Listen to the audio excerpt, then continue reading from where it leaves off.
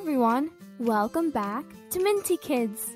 Today we're going to be reading this wonderful book called Everyone Feels Angry Sometimes, written by Dr. Daniela Owen and illustrated by Gülce Baycik. Brought to us and published by Puppies, Dogs, and Ice Cream, Inc. Check the description below for a link which will take you to their site so you may purchase your own copy for your home library. Anyway, let's get to it. Anger is a big feeling. We can feel angry when we don't get what we want, when something isn't fair, or when we have to do things we don't want to do. I want it. No. Anger starts deep inside of us and grows and grows. Even though it doesn't feel good, it's okay to feel angry. Everyone feels angry sometimes. But when our anger gets too big, it explodes out of us. In fact, anger is like lava, and our bodies are like volcanoes. When we are calm, the anger stays inside of our volcanoes. When we are calm, our volcanoes are cool and inactive. But when we get really angry, these feelings come bursting out, hot and destructive. This can make us feel out of control, like an erupting volcano. When our volcanoes explode, we may stomp our feet, pound our fists, kick, scream and yell, throw things, rip things, and break things. Sound familiar? Not fair! It's helpful to think about our anger in four levels low, medium, high, and exploding. When we feel calm, our bodies are relaxed. We speak at a normal volume and our thoughts are clear in our heads. Our anger level is low. When we get a little angry, our bodies start to feel tense. Our voices get louder or faster. Our thoughts start to speed up and become focused on the thing that is bothering us. Our anger level is medium. When we get angrier, our bodies and faces feel warm. Our hands become fists. Our voices get louder. We repeat the same thing again and again. Our thoughts become focused on what's making us angry. Our anger level is high. When we get the angriest, our faces and bodies feel hot and tight. Our voices yell or scream. Our thoughts get jumbled in our heads, and we usually can't focus on anything at all.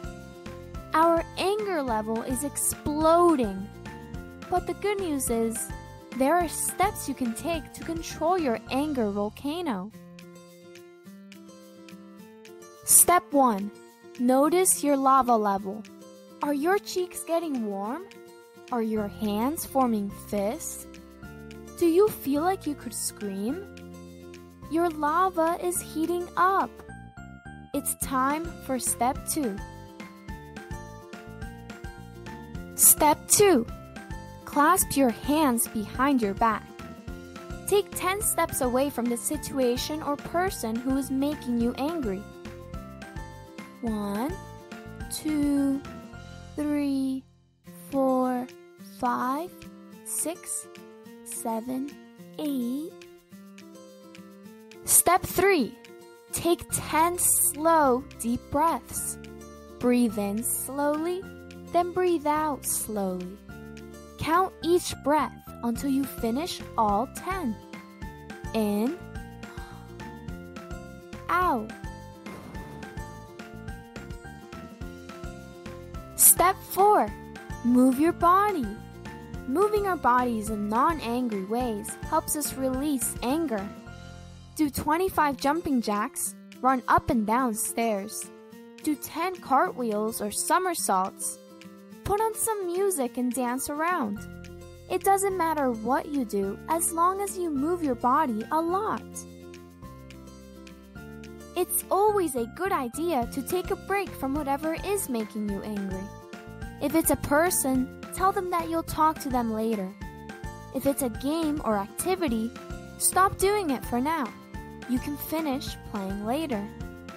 It doesn't have to be a long break, just long enough for you to calm your anger volcano. We often feel angry when something seems unfair.